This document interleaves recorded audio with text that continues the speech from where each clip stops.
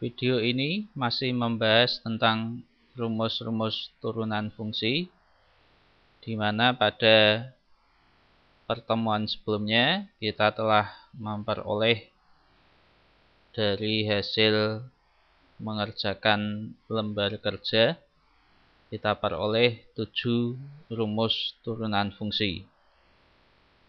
Berikut ini masih kelanjutan dari LKS tersebut dalam menentukan rumus-rumus turunan fungsi.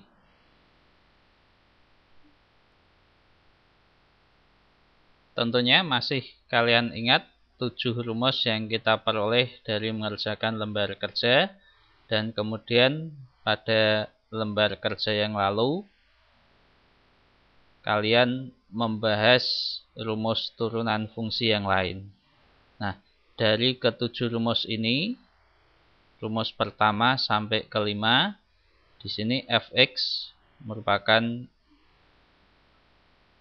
terbentuk dari sebuah fungsi saja. Tapi untuk nomor 6 dan 7 ini terbentuk dari dua buah fungsi, di mana yang nomor 6 berupa jumlah dua buah fungsi dan nomor 7 adalah selisih dari dua buah fungsi.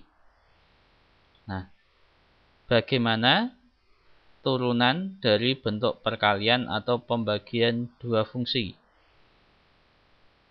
Ini yang akan kita bahas dan sudah kalian peroleh hasilnya pada lembar kerja yang sudah kalian kerjakan. Kita lihat kesimpulannya. Nah, untuk turunan hasil kali dan hasil bagi dua fungsi,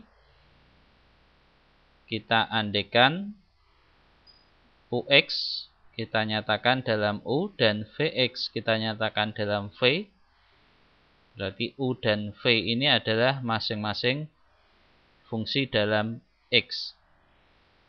Nah, masing-masing fungsi tersebut mempunyai turunan U aksen X kita nyatakan dengan U aksen dan V aksen X sama dengan V aksen. Maka rumus berikutnya kita kasih nomor 8 fx sama dengan u kali v. Maka turunan pertamanya adalah u aksen v ditambah u kali v aksen. Rumus berikutnya jika fx sama dengan u dibagi v maka f aksen x sama dengan U aksen V dikurangi U kali V aksen dibagi V kuadrat.